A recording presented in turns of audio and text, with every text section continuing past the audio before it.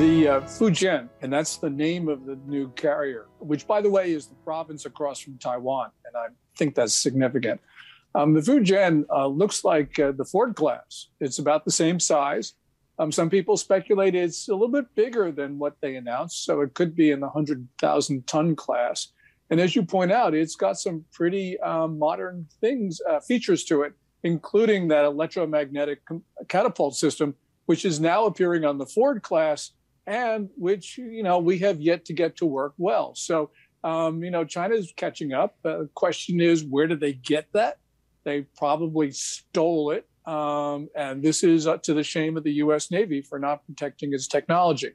But clearly, Beijing is going to use this for nefarious purposes because it does not believe that it is bound by the rules of the international system it takes a while for an aircraft carrier to work. I mean, imagine how complex it is. Running a capital ship like that is complex enough. Then running the air wing on it and having them integrate that. The, U.S. has decades, really almost a century of experience in that. Uh, I think China has to learn that from scratch, but I don't see why they wouldn't. I mean, they've been practicing on their previous aircraft carriers, the one they bought from Russia, called the Liaoning, if I'm pronouncing that right. Pardon me if I'm not. And then the Shandong. So I think they're taking the long view. They know they've got to learn these things in practice.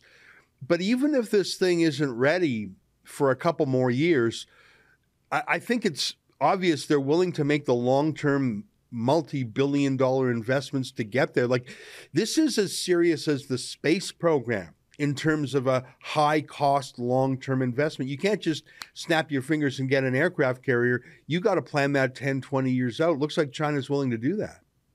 Well, it certainly is. And, and you point out the most important thing about this news, and that is um, the trajectory of China's Navy. Um, they're building capital ships, submarines, and others at a very fast clip. Their Navy is bigger than ours if you count bottoms. We're still the United States still has more tonnage, but nonetheless, this is getting to a point where the Chinese um, have a formidable force. And when it comes to, for instance, a war over Taiwan, China will have more assets in the region than we can actually muster. So this shows that China has that determination to take Taiwan by force and also to move against other neighbors, especially Japan and the Philippines.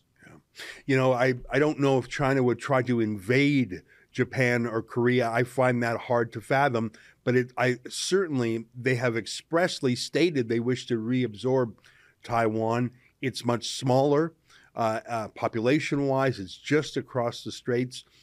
Uh, I think if you plunked a couple of Chinese aircraft carriers between mainland China and Taiwan, uh, I think the Chinese amphibious. I mean, I, I don't want to get too technical. I don't want to pretend that I have a military background, but it just strikes me as sort of obvious if you deployed the bulk of the Chinese Navy between mainland China and Taiwan, China would pretty much have its way.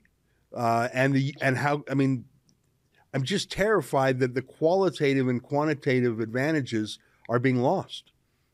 Yeah, well, certainly um, uh, they're being lost.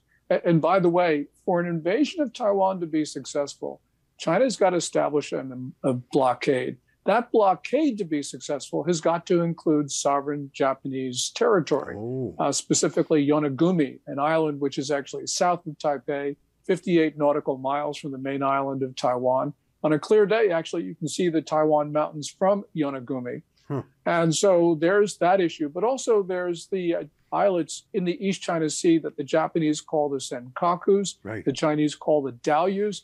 The Chinese have a very weak claim to them, um, but they've made it very clear that they're going to take those from Japan. So this carrier, plus the other ones, plus the rest of its navy, would be very helpful in uh, taking the Senkakus, the Diaoyus from Japan. You know, I was saying earlier, uh, I look at the West's reaction to Russia's invasion of Ukraine. And I was checking, and Russia's GDP is almost exactly one tenth that of China's, and their population is almost exactly one tenth that of China's. And Russia has oil and natural gas and other minerals. It's true.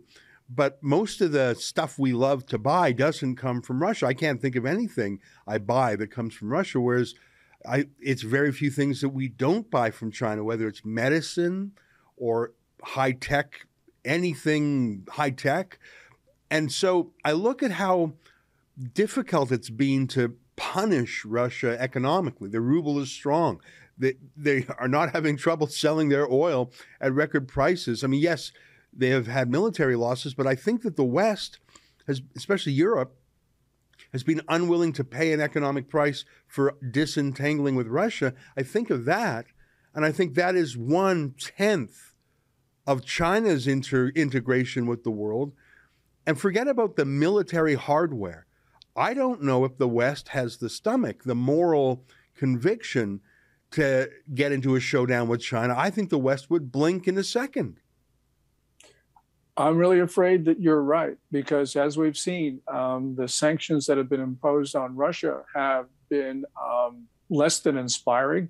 They've been um, they've been somewhat effective, but China uh, China has been able to help Russia to evade them, and the Russians have been very good at being able to sell oil and gas around the world um, to a number of countries, including the United States and the European Union.